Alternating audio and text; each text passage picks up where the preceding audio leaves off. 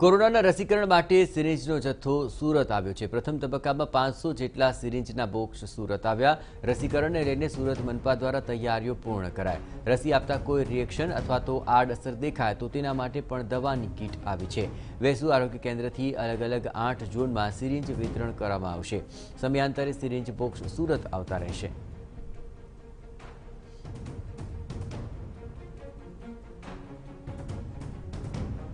વેસુ આરોગ્ય કેન્દ્રની આ તમામ ગતિવિધિઓ ચાલી રહી છે, જેમાં સમયાંતરે સિરિંજ બોક્સ સુરત આવતા રહેશે તેવી વ્યવસ્થા છે. રસીકરણ માટે આ સિરિંજનો જથ્થો સુરત આવી ચૂક્યો છે. આ ઉપરાંત પ્રથમ તબક્કામાં પાંચસો જેટલા સિરિંજના બોક્સ સુરત આવ્યા છે.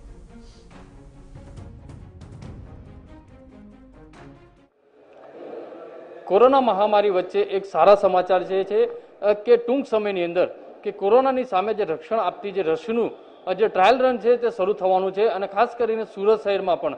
ટ્રાયલ રનની જે શરૂઆત છે તેને ધ્યાનમાં રાખી અને સુરત મહાનગરપાલિકા દ્વારા તમામ તૈયારીઓ કરી દેવામાં આવી છે કારણ કે ટ્રાયલ રન વખતે જે રીતના રસીની જે લોકોને આપવામાં આવે તે સમયે લોકોને રિએક્શન અથવા તો કોઈ ઇફેક્ટ થતી હોય છે રસીની, ત્યારે તકેદારીને ધ્યાનમાં રાખીને આ કીટ છે જોઈ શકાય છે કે આખી આ જે કીટ છે તે સુરત મહાનગરપાલિકાના ખાતે પહોંચી છે. જોઈ શકાય છે અલગ અલગ જે અંદર તમામ જે સુવિધા છે જે બોટલ કહી શકાય છે, જે બોટલો છે, અલગ અલગ જે દવાઓ છે જે દવા પણ છે, ઇન્જેક્શનો છે, અલગ બીજી દવાઓ છે, તમામ જે અહીંયા આખી જે કીટ છે, તે મોટી સંખ્યામાં કીટ જે સુરત ખાતે આવી પહોંચી છે અને અહીંથી અલગ અલગ ઝોન, જે આઠ ઝોન છે સુરતના, ત્યાં તેમને વિતરણ કરવામાં આવશે. કારણ કે જે રીતે ટ્રાયલ રન શરૂ થશે તે દરમિયાન લોકોને કોઈ રિએક્શન ટ્રાયલ રન વખતે રસી આપવામાં આવે ને તે દરમિયાન કોઈ રિએક્શન આવે અથવા તો કોઈ ઇફેક્ટ થતી હોય છે રસીની તે દરમિયાન આ કીટનો ઉપયોગ થતો હોય છે. તેના કારણે સુરત મહાનગરપાલિકા દ્વારા તમામ તકેદારીના ભાગરૂપે આ જે છે તે કીટ અહીંયા રાખવામાં આવી છે અને તમામ ઝોનની અંદર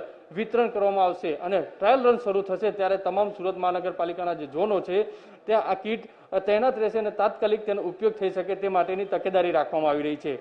કેમેરામેન સંજય ચંદલ સાથે બલદેવ સુથાર, ટીવી નાઇન, સુરત. રસી આપતા કોઈ રિએક્શન અથવા આડઅસર દેખાય તો તેને લઈને પણ પૂરતી તૈયારી કરી દેવામાં આવી છે. આ ઉપરાંત આ તમામ રસીકરણની તૈયારીઓને લઈને અત્યારથી સુરત સજ્જ દેખાઈ રહ્યું છે.